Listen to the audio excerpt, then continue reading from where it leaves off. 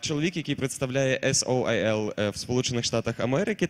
Е, Він є відомий е, за багатьма проектами. Взагалі, бюро, яке він представляє, вважають найсміливішим у Сполучених Штатах. Найбільш відомий завдяки скляному павільйону в Толедо, Огайо. Та And we can hear you. Hey, hey guys. Е, Та нового музею сучасного мистецтва у Нью-Йорку. Е, Під бурхливі оплески вишуканої публіки запрошуємо Флоріан Іденбург на цій сцені. Гучніше, гучніше! Це ж ранок суботи. Thank you.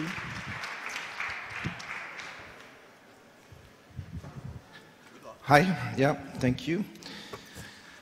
Good morning. Um, speaking about values, it's very valuable to have a seat here. Uh, I had to get up at three this morning to, uh, to get here.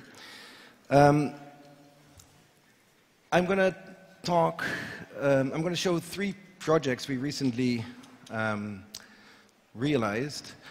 Um, but I'm also going to show sort of the biggest project we recently completed, which is a book that we just finished, and I have a copy here with me, um, published by uh, Lars Muller, uh, called Order, Edge, and Aura. Um, and it's a book we- worked on uh, for two years, uh, but basically, it is the first book we, we um, made with our office, which we started in 2008 in, um, in the United States, in New York. Um, but I'm Dutch, um, I'm from the Netherlands, uh, and we're talking today about, I think, um, values and what design can do in these values. Um, and obviously, the Netherlands uh, is a place in which design has played a big role in shaping uh, society. Um, this idea that through planning and through organization we can make and we can be in control of, of the world uh, that we live in. Uh, my partner uh, is Chinese, Jing Liu. We met in Japan. Um, uh, and also in China, the idea of um, the construction of society is obviously one that is very uh, strong and very present. But as we started in 2008 uh, to work on our practice, or over these last eight years between 2008 and, and 2016, we see that these systems, the ideas, the structures that we put in place, the, the, the structures that we design in a way to, to keep us stable, are leading to um, instability, reactions, um, they, they trigger tensions, and now we are um, in a time when there's actually a sense of nostalgia, a sense of um, angst maybe for the societies that we, that we are trying to create. And so our practice, um, which, um, yeah, in, in, it, it was very much um, committed to creating um, architecture that produces culture, so a, a real belief in the ability for architecture to affect basically um, our society. The question in these last eight years eight years was how to, how to um, um, make an architecture in such condition of instability and unpredictability. And so we, rather than trying to control, so to say, the outcome of some of these, um, of, of, of the ideas, we try to see if in this instability, in this unpredictability, in this uh, uncertainty, a new sort of form, a new aesthetic, a new beauty maybe um, can be found. And so our practice, oh, this is a video. I'll go one back. Oh. It's an anime. Yeah, there we go. So um, we've been we've been searching, and actually our practice is one that is very much about experimentation and trying to um, search for sort of uh, uh, yeah new new systems. Um, and I'll get to this project uh, in a little bit, but it shows sort of the, the, the, the experimentation of flexible structures, of open structures, of instability as a, as a, as a, as a condition. the search for form that is not necessarily explicit but actually can be interpreted in, in multiple ways. Um, a, um, uh, the, the, development of, of, scripts. We work in, in software as well to experiment with sort of new type of forms and new type of conditions, and we, we test um, with standard products to see what can be done, and sometimes uh, we test with, with unconventional and new uh, ways. Uh, and we embrace this idea of, of failure and, and, collapse because we think that only uh, we can move forward if we're open also to embrace uh, things going, going wrong. Uh, an installation we did for the storefront for art and architecture, which is on the cover here, um, within hours um, was embraced by the city and its uh, reality. Um, and I think in that, um, in that condition, is, is it's actually a very um, potent and very uh, um, inspiring place to, to operate in, to not necessarily believe that what you come up with can be uh, controlled. Uh, the book that we made is not a monograph, it's actually trying in some way to be an agenda for an architecture in, in, in stable times, uh, uh, sort of a, a manifesto um, within this uncertain condition. And it's organized around three um, points of gravity. Uh, it's not necessarily chapters, but we've organized basically the, the projects and the experiments and the work that we have done um, in these three sections, but they, they read very uh, continuously. And the first part talks about order and organization, it speaks about how to create systems that are not necessarily organized around function, not necessarily organized about program, but more about material organizations that create a certain openness, a certain flexibility in use, and open structures. I think there was an earlier conversation already about how to create openness. And we've been experimenting with how to create some material order that doesn't necessarily fixes program, is not necessarily static, but creates new ways of use and new ways of navigation. Um, what you saw here is a museum proposal where we, where we suggested to make all the rooms basically out of the same system and they could be used either for galleries or for a library or a shop.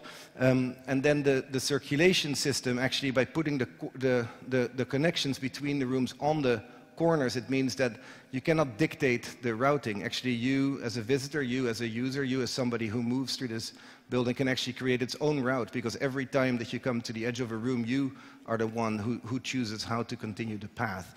And this would challenge ways of curation, it, it, it creates new ways of storytelling, and it creates sort of new uh, types of relationships. Um, this project, which is also part of this idea of order, is the first project we did, which is the um, project for PS1. It's, an, it's a flexible structure. The structure um, uh, was installed in the courtyard um, of, of, MoMA, uh, uh, the, the, Museum of Modern Art in New York. Um, and it represents uh, basically this idea of modernity, the white Cartesian grid. Um, but it is a weak structure. It's a structure that is not offering us stability. It's actually a structure that is always on the verge of collapse. It, it's flexible, it's elastic. And actually, we, as users, are responsible for its stability and its possible um, uh, um, collapse. Um, and so in these open structures, you see sort of new activities and new relationships being established. This is pictures we found online of new games that started to take place within, this, within these structures. And also play and, ga and games that we hadn't uh, anticipated. This is a, an email attachment from the, from the lawyer of the, the, the MoMA saying that we, as designers, were fully responsible for all bodily harm and even death that might occur uh, within our installation. Uh, luckily, that didn't happen. Um, order can be, um, can be chaos, or, or order can be non-structured. This is the first sketch for a museum um, I will show later that we opened in, uh, in, in California early this year, or the plan for a, um, a, public space in, in Bahrain, uh, in Manama, which is about the coexistence of multiple publics and how to create soft borders between different points of view. Uh, the second section of the book speaks about edge. It speaks about the, the, the, the, the the, the, transition of these systems within its site, within its society, within its context. So how do you negotiate this, this system, this organization with its context? And how do you deal with the thresholds and the movements between, say, the exterior, the site, the, the, the, the, the environment, and, and these uh, organizations. Um, and the project that um, I think in some way highlights our thinking um, well is this um, small installation we did for the Hong Kong Shenzhen Biennale a number of years ago, um, which is called Tri Colonnade. We were asked to make a facade. Uh, the, it was a reenactment of the, the street, uh, an installation done by Paolo Portoghesi at the, at the Venice Biennale in 1984. Um, and so in Shenzhen, in I think 2012, um, Terence Riley uh, asked a number of young architects again to make this street, to make this facade, make a skin, and behind it show uh, your work. Uh, but we, we challenged this idea that architects can only be involved in, in the skin itself, and that maybe the market or code or other types of things de define the interiors. And so we were interested in, in seeing how can we create depth in the skin? How can we make the, the space between the public and the private more uh, ambiguous and more deep, and where there is sort of an, a space that is neither public nor private, but actually sort of the exchange that happens uh, between it. And so we, we played with this idea of the colonnade. A colonnade is obviously a deeper uh, facade, a, a, space between interior and exterior. Uh, and we used the, the, the, the, the walls of the booth actually to, to set the, the dimension of this, of this colonnade. Uh, but then when you enter, and that was the image before, it's the, it shows us the, the plan. There's actually a multitude of sort of bracketed spaces. These triangles, they're lined with uh, marble uh, veneer and the back with mirror. And once you enter, actually, sort of an, uh, an endless space um, uh, occurs. And this idea of depth within the, the the, the zone between uh, public and private is something we, we try to pursue in many places because suddenly there is this uh, necessary um, uh, exchange, this, necess this, this need for um, negotiating between you know, ownership, between responsibility, between sort of what is in and what is out. Um, they can be very ephemeral. Um, they can also happen between uh, activities themselves. This is a space we did actually for um, a Ukrainian client, I realized. He um, was born in the US, but from a Ukrainian background. He has a, a digital company um, where everybody is a freelancer, and so they work with project teams um, and how to create sort of a sense of community while you're not necessarily colleagues and also give a sense of privacy. So the screens, which are theater walls here without um, any joints, they, they create a sense of uh, awareness of the other in the space, but not necessarily uh, fully exposing uh, them. Uh, currently, we're working um, and building uh, a museum in Hong Kong where we use these um, transparent, uh, curved columns um, to hint at the, the, the, activities taking place um, behind it, but not fully um, revealing it. Um, these edges, they can also be more defined. They can frame. This is a community center in Belgium where we used a really closed frame. It is in the countryside to create a, a protection for this community with a number of, of uh, openings. Um, or sometimes the entire building can become the frame. This is collective uh, housing we did uh, for people who used to be uh, in jail and now have to come back into society where the, where the, the units themselves, they form the, the framing of the, of the community. Um, and then these transitions, they can sometimes just be uh, deeper.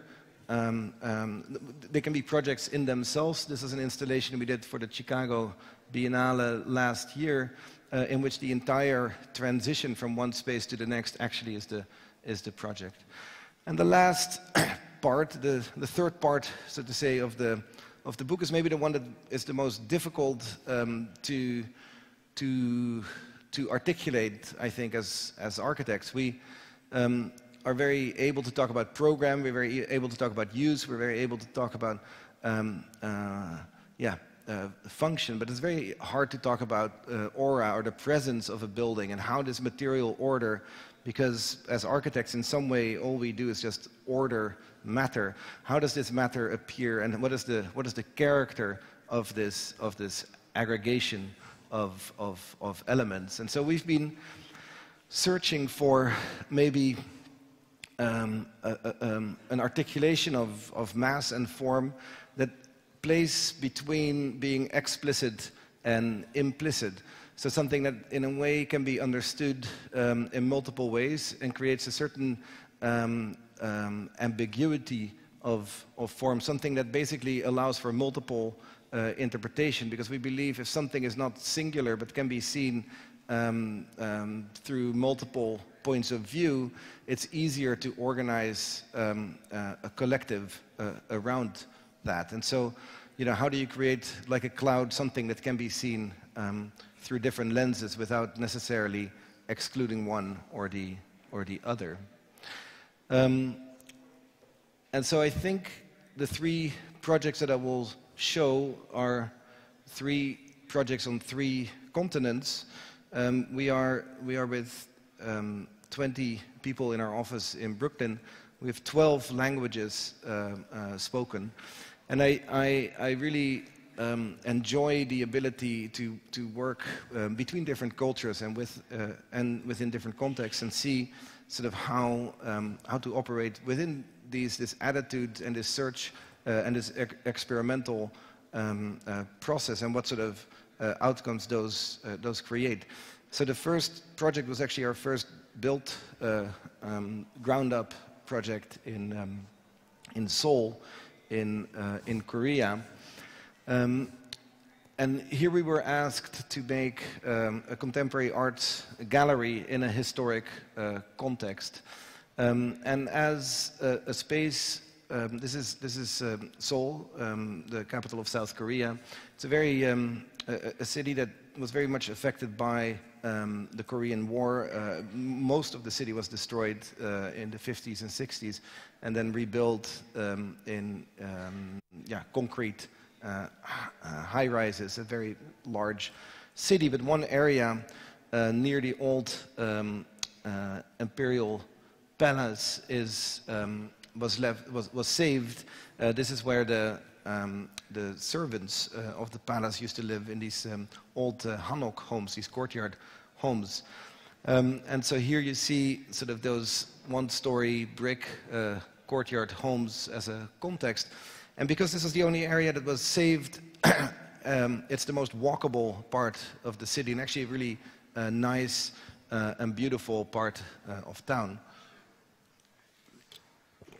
Um, the, the gallery that we um, were asked to make a third space for uh, it's called Kukje Gallery, and Kukje means international. And this is a, um, uh, a, gallery, Korean gallery that, that connects uh, Korean artists with the rest of the world and also brings um, um, yeah, Western artists into, into uh, Korean, uh, in a Korean context. And they've been uh, growing uh, and being successful at that. And so because of that, they started with one small building here that gradually grew into this fine grain of the historic fabric.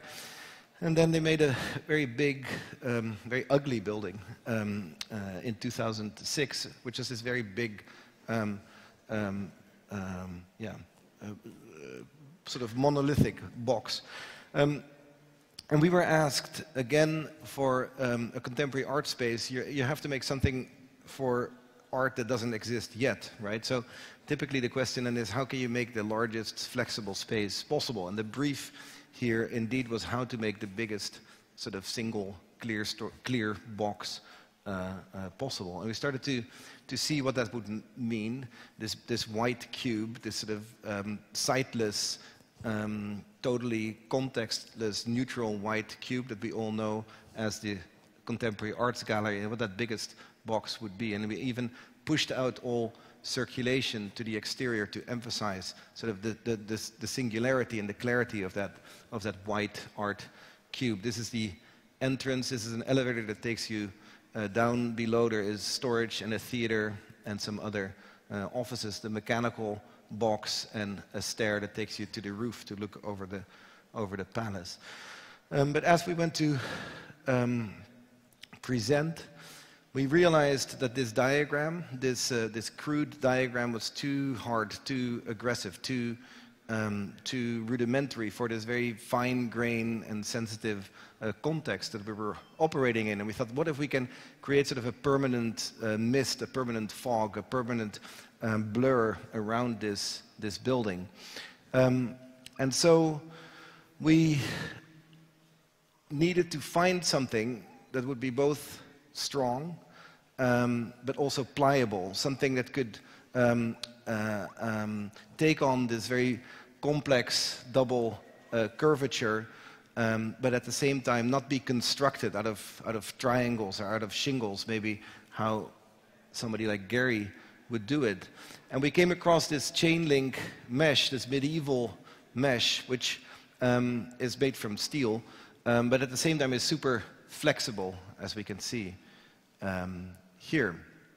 Uh, but it only exists on the scale of the, of the body. It's made now for um, belly dancing attire and butcher gloves, um, but not necessarily on the scale of architecture. And so we started to see, hey, if this is the largest scale you can, um, you can um, buy and uh, you can fabricate, um, but what is, the, what is the right scale for, for the building? And we started to test in our office uh, just by cutting rings and trying to understand how this pattern uh, works. And we start to un understand also where does elasticity come from. We used um, a small piece and we saw that in one direction it falls straight in a square and then you turn it and it suddenly starts to ply. And so we saw that there's a pliability in one direction and how much can you stretch it before it starts to bundle up and become unattractive. And then we, we asked uh, an engineer, a friend of ours, um, once we had sort of the scale that we thought was right for the building, to start analyzing how the forces uh, worked, first in the individual ring and then in these weaves as a, as a totality. Can these things actually be applied um, uh, as, a, as a building um, skin? And at some point we had the entire um, force field, so to say, uh, modeled uh, digitally, and we were able to see where are the points of tension, where can these things, um, where, where does the pressure gets too high, and it was very important to distribute uh, the forces over the building, so we could make some adjustments digitally to see how those forces uh, um, would change.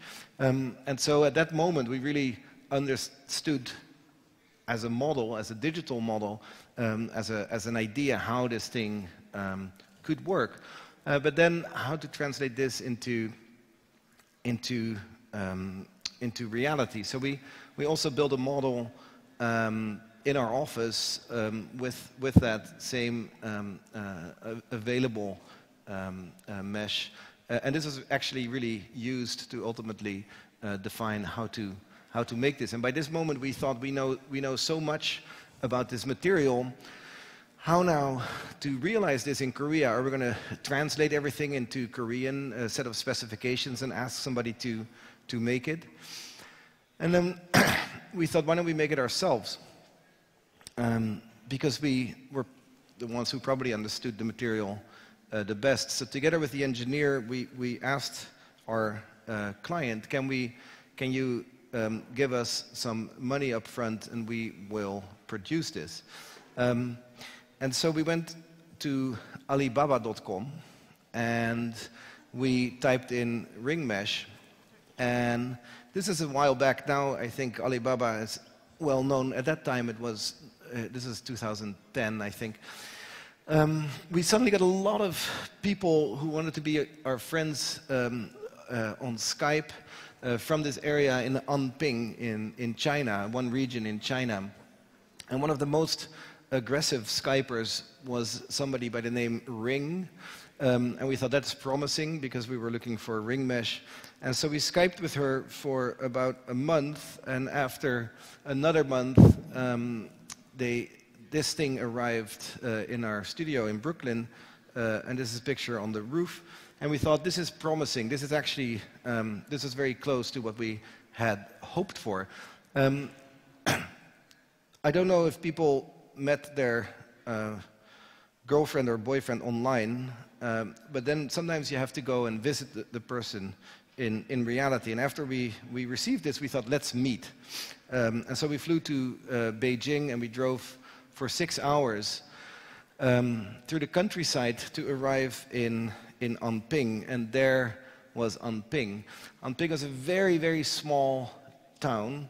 Um, and we met um, Ring, um, and we came into this courtyard, which is the size of this stage, and there was Ring's brother, um, who, who, was hand welding this together um, by himself. Um, and so here is Jing, my partner, Mike, the engineer, and uh, that's Ring. Um, and by this moment, we, we knew we needed half a million rings um, uh, in this, in this uh, building skin. And so it took them a month or something to make this. So we thought this is not going to happen. But Ring then said, well, everybody in this town can weld, and why don't we find a way to do something that we can do collective because it's not um, so difficult. And so we experimented, we stayed there, and we figured out a, a, a, a, different way of producing where actually multiple people could work collectively on uh, a series of these uh, swaths. Um, and so we, we, we had to explain to, to a larger, the larger community what would work and what wouldn't work and what was acceptable because all of this had to be made um, yeah, by, a, by a variety of people.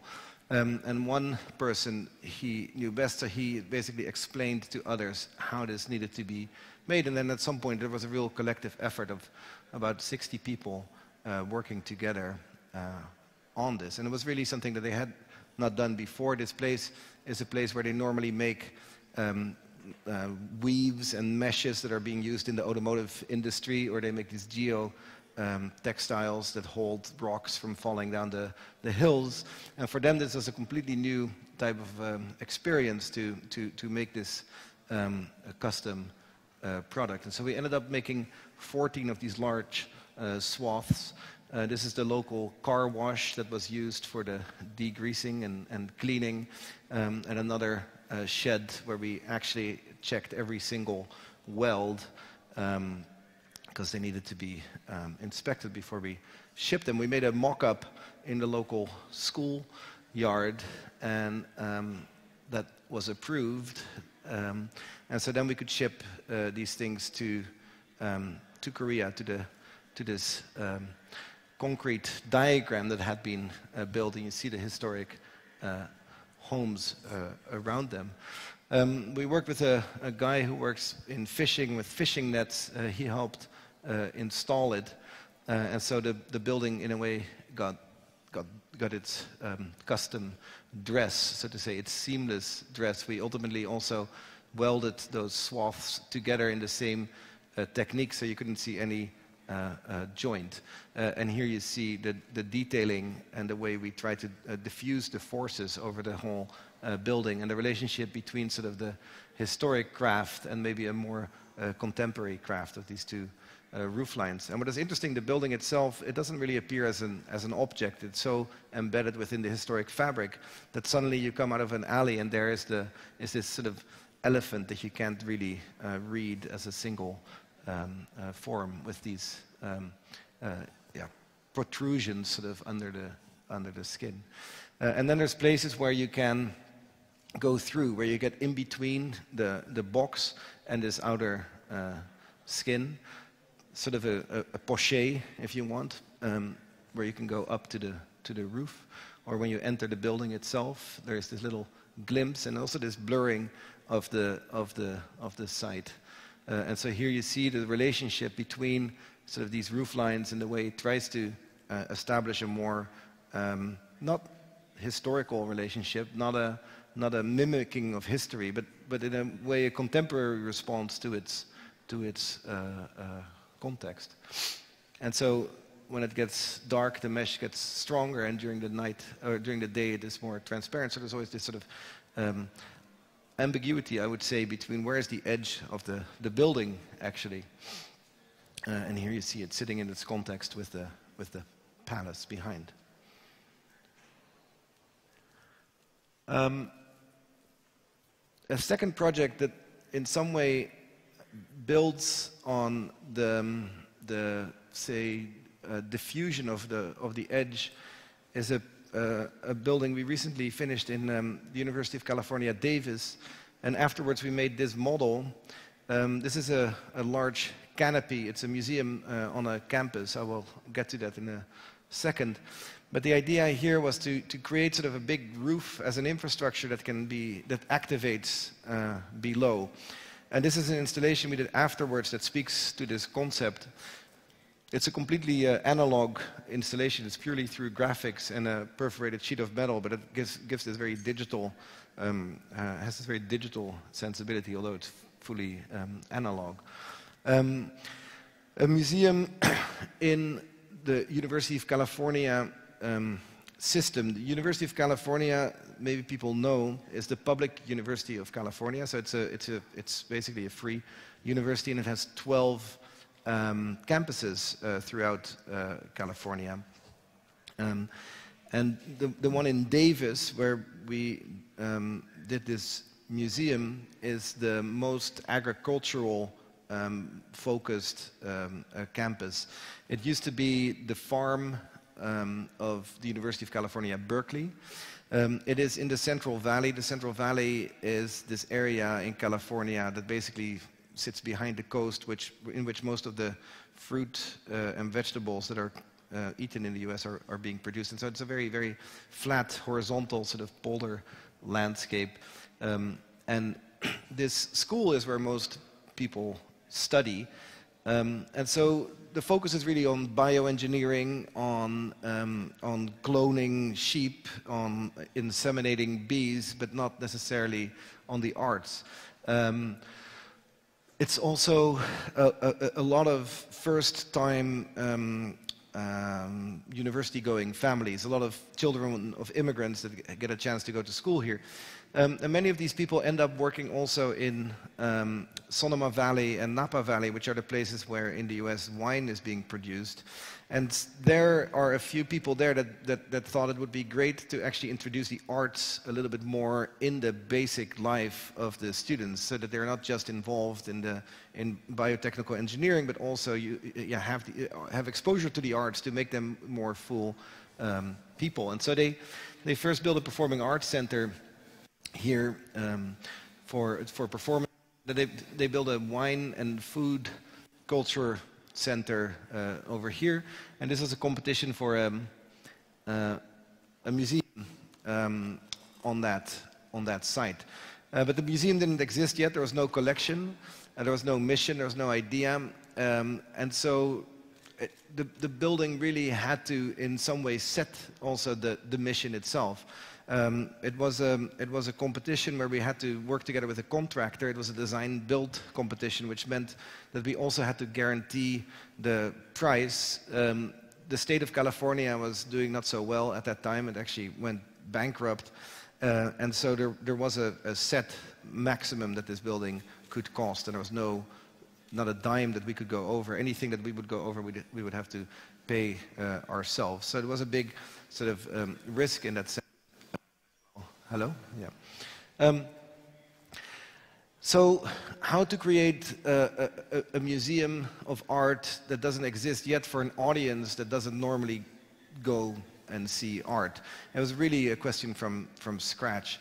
Um, and we thought we'd take the, the,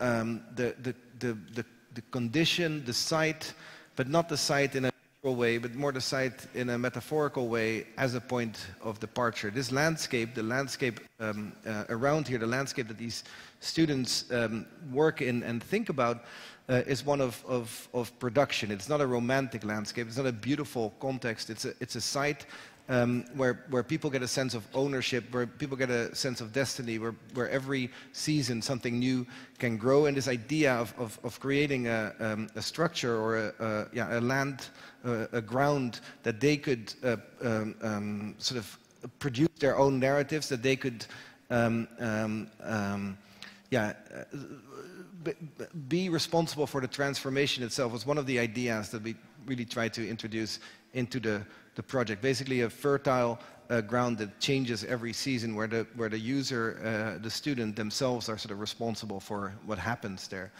And then, how to create a, a presence? Uh, how how does this uh, in this flat landscape? How does this uh, structure? How does this uh, um, uh, ground sort of announce itself to the to the world. It was for the university also important. Maybe you saw it was at the edge of campus, so it's the challenge was how to draw students to go there, but because it was also at the edge of campus, it was also the first thing that people from outside would see. And so, it, so the, the, question of its presence and of, of, its aura, maybe something that we just spoke about as the third part in this book, was also um, important.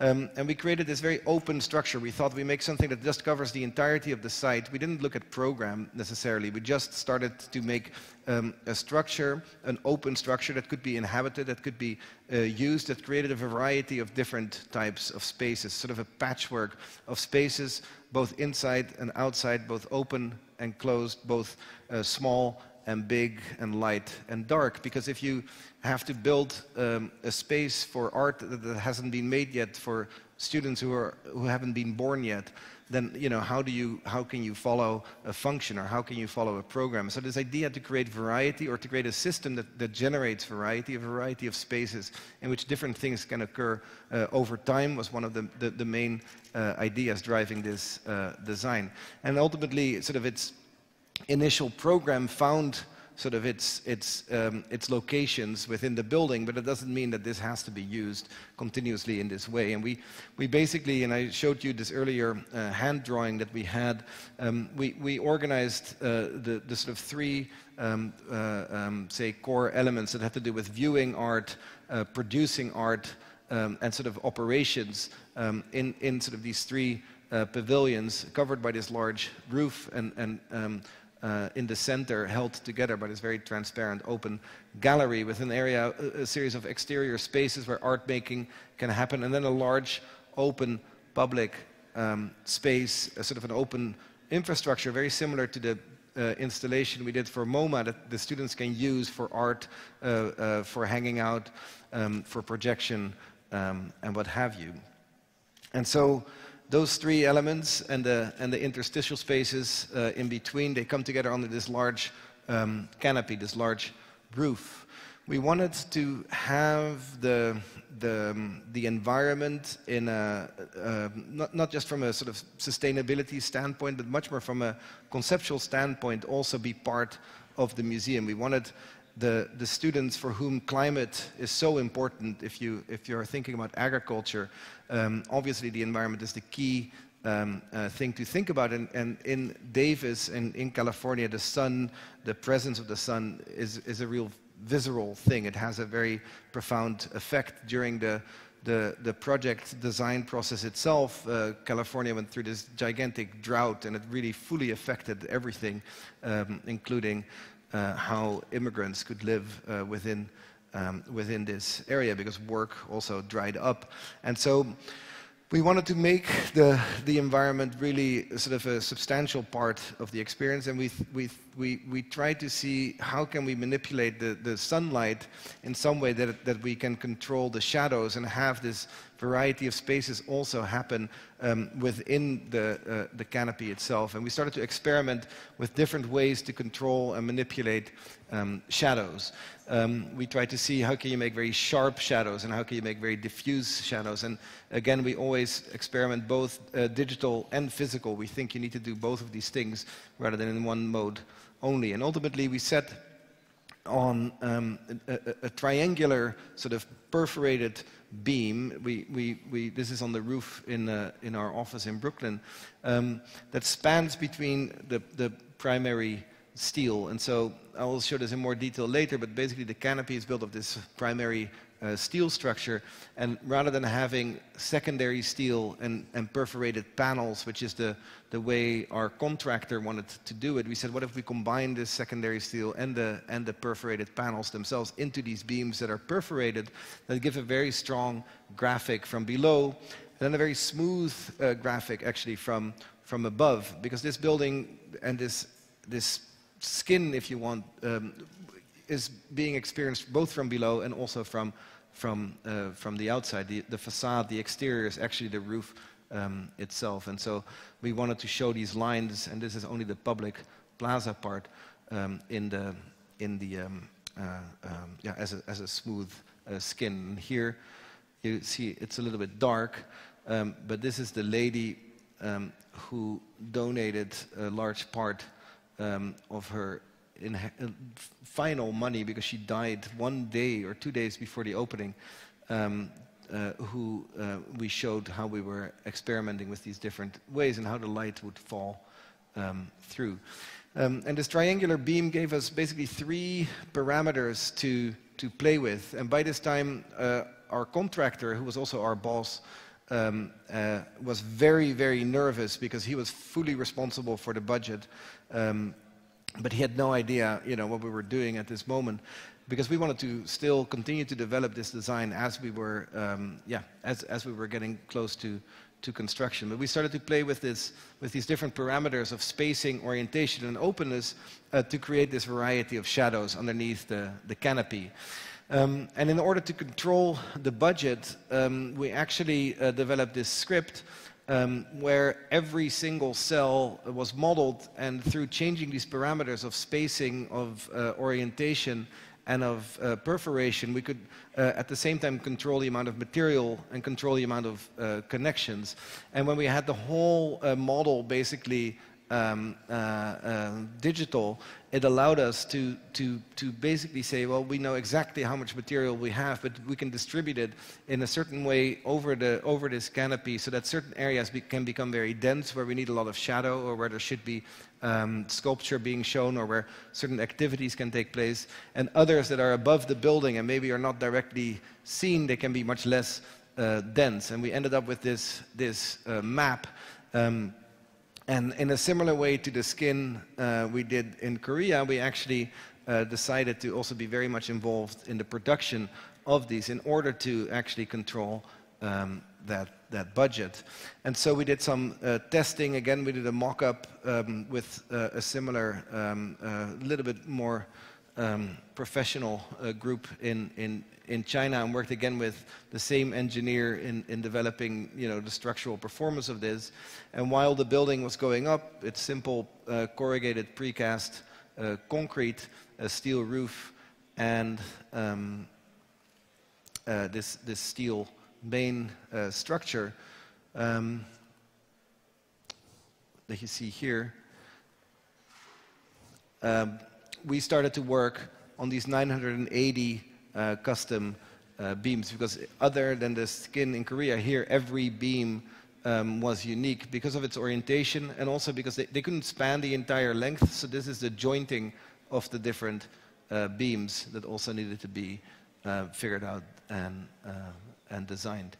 Um, because they, they, they touch the steel in different ways, all their connections needed to be um, unique. And so there was a lot of involvement actually in monitoring this and spending time between the, the, the people in China making this and, um, and the, the steel structure behind. Um, out of the 981, only one didn't um, fit. Um, and the installation uh, went much faster than, uh, than anticipated. And so this was a very interesting lesson for us because basically, because we took some sort of responsibility for the budget, um, we, we knew that um, in some way we also needed to um, take control of the information.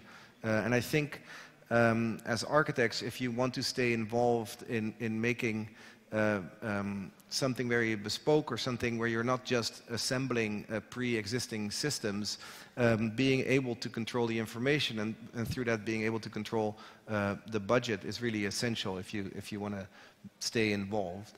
Um, here you see the building, it opened in uh, November uh, last year. And you see how this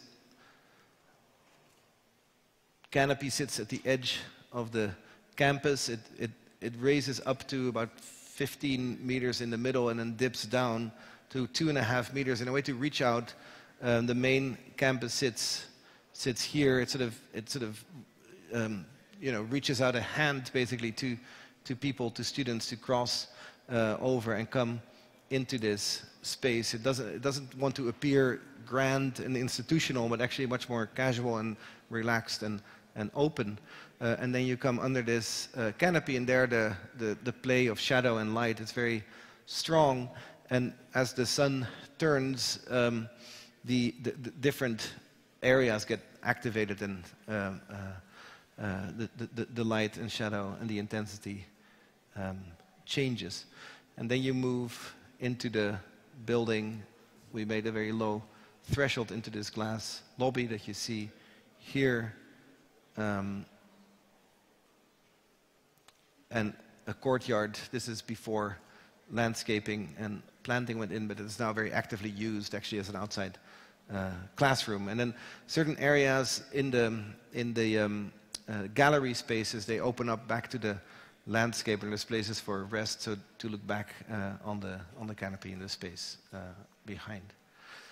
Um, with one sort of framing where you can see uh, the sky and as a sort of a negative sundial or a positive sundial, if you want, you see this um, uh, half moon moving through the, through the plaza. Um, the last project I will show um, is a project we just did um, for Mini um, at the Salone, the design fair in Milan. And Mini is a car company, and I use this image um, to introduce the project because, um, as you probably know, many car companies, uh, they don't know what to do because a younger generation doesn't want cars. Um, and so Mini is trying to figure out how they can uh, transform um, their um, business of making cars into something else. And they are looking at what, is the, what are the core um, values or what are the things, what are the, yeah, what is, what, what, what is it that a younger audience and a, and a younger um, uh, demographic want? And um, the idea of compactness, which is obviously uh, an idea of Mini, and sort of well-designed but small scale um, as something rather than big, large, and expansive, is something that is uh, of interest to them. And so they've been working on this um, project that is basically called Mini Living, which is a research project for them into new ways of living compact um, in, the, in the city. And they asked us to make a concept uh, house to basically uh, experiment with how could one live with a lighter touch in the, in the city, maybe something that is mobile and can move around, um, and something that also speaks about a more uh, fluid and ephemeral uh, relationship with our environment and where the, the, the, the, the climate also sort of has an effect on how this, um, how this uh, uh, habitation um, happens. And so it, it, didn't have to be a, a functioning uh, house, but we tried to make it as as real um, as possible. Um, but it, it, needed to happen on a very, very compact uh, footprint. The total square meter of the house is 60 uh, square meter uh, for a three family or three bedroom uh, house with a master bedroom and a, um, a, a kitchen dining and a garden. Um, we made it out of uh, prefab, um, uh, or we prefabricated a series of steel um, um, systems, connections. So this is the steel framing, which are these elements that basically were fabricated uh, off-site. The, the, site itself is in, a, in an industrial area in Milan in a little alley. Um, it was there for about two weeks and now it will move to a different place. But so the idea of prefabrication and the fact that it could be shipped and maybe used in different places and that you could have one of these houses and but, but in a way as a tent move around was one of the ideas uh, in there. And then we we, we, we clad this structure with this, um, uh, with this uh, permeable skin, and in this case it was a film uh, that actually filters out the, the, the, toxins in the air. They, they stick to the, to the edge and they get sort of washed off by the rain. So this idea that it is not, um, it's, it's not fully climatized, obviously, but it is something that still creates a more clean um, environment and filters out some of the, the dirty air um, behind. Um, and we also integrated the, the, the, water systems. We captured all the rain on the roof that then actually um, uh, is captured and, and, helps with the systems in the house itself. And obviously the skin also provides uh, shade.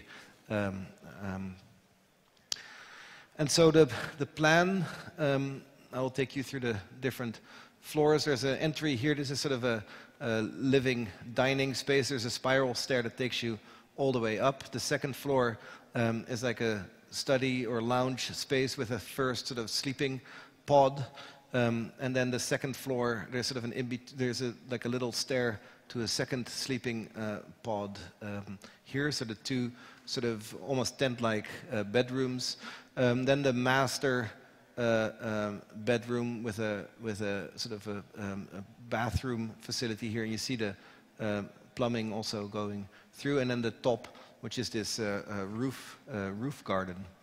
Um, and now I will show it um, as we installed it. It was installed uh, very quickly within a couple of days. Um, you basically stack the structure and then dress it, dress it up, so to say. Uh, and here you see it sitting in, um, in this alley.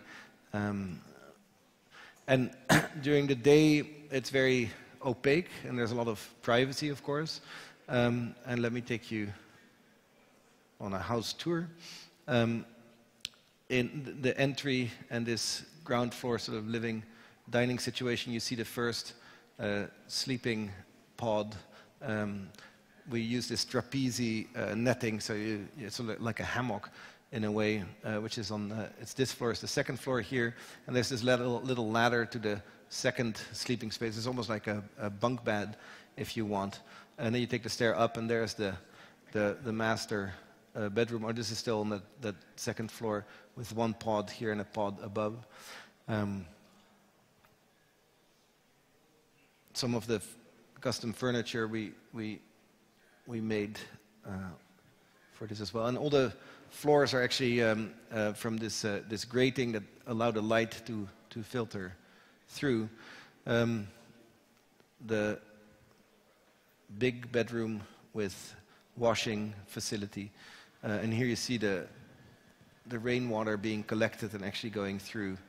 Um, so there's an incredible openness also of systems and the seeing uh, uh, the, the, uh, the, the understanding of this as actually something that is living and, and uh, an organism. Ah. Um, looking up to the roof, the, the garden up there, um, which just peeks out over uh, the context and the, and the, the buildings. Um, and so at night, obviously, depending on how you light it, it becomes very open and very um, uh, transparent, and you see sort of the, um, uh, the, the life uh, taking place um, in, the, in the house. Um, so that's it. We wanted to bring books here, but they're very, very, very heavy. Um, and so if you, then Lars Müller said, if you use this code, you get 20% discount of the book if you buy it at Lars Müller's website rather than on Amazon, because Amazon will take over the entirety of our society and will make us all robots. So it's better to buy it from, uh, from the publisher uh, directly. Uh, thank you.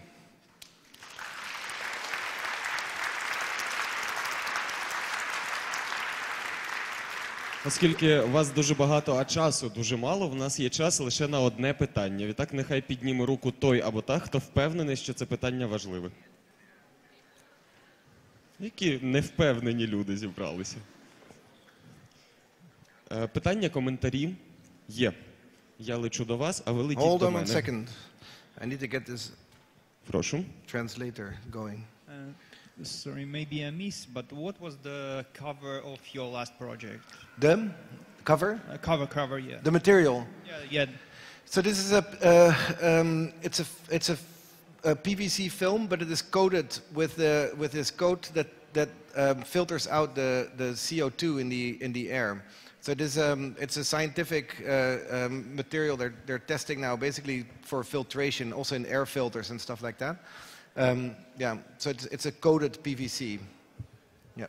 Actually, there's two layers. There's an outer layer, that's that, and the inner layer is a more stretchable fabric that creates more a sense of privacy. So the bedrooms, they, they have this double skin. Yeah. Okay. Florian. Yeah. Uh, uh, uh, thank you for your presentation. Your work is uh, very generous of you to share it with us. Um, one thing I, I like about your practice um, is is how you kind of uh, are trying to deal, or I think you can tell me if I'm wrong. uh, it feels like you're trying to deal with this sense that architecture is usually static, and you're trying to get a sense of kinetic. And in literal ways, you do that through the shadows in the project in Davis, and then especially with the pole dance project. But in others, it's it's a perception, or it looks like it's in motion, or it looks like it's more fluid. How do you? It's an abstract question, but I guess how do you dance? Oh, forgive that phrase. How do you how do you go between uh, this notion of the reality of something really being in motion and really being kinetic, and this sense or appearance of of uh, movement or fluidity? I, I like that's a very nice question. I um, it's as I showed in the beginning. I think our first impulse was how to respond to, um, or how as architects who who believe in some way that our built environment affects us, um, how to respond to you know this super unstable uh, condition. Um, and so the, the first impulse was to play with this idea of, of the, the and, and find a new aesthetic, so to say, in this, in this unpredictable, in this unstable, and in this sort of um, uh, almost fragile environment. And maybe also because of the economic reality of those times, there was very few permanent types of work, right? There's a lot of temporary uh, structures, and many architects start with temporary things. And so, obviously, there you can make it very literal, and you can make this this this kineticness a very literal thing. But I think actually, you know, uh, our belief and our our our hope is, and if you look at a structure like what we are in today, is that you can make buildings that last for a very very long time. And obviously, then the kinetic becomes a different type of thing. And there, I think this idea of openness, of the ability to transform, and actually, the, maybe the people, the user, uh, and time itself are the things that are kinetic, but this, the, the structures are the ones that are more uh, permanent, is, is something that we are you know, exploring maybe more in that direction. And so I think with form, I will keep it short, but the, the, the, the, the, the, the yeah, I think Davis is a good example um, of trying to use the elements to activate it, but which is something that will be there for a longer time. Yeah, thanks. Е, Дякуємо ще раз. Вас втричі більше, ніж було з самого ранку. І так гучно Флоріан Іденбург. Thank you.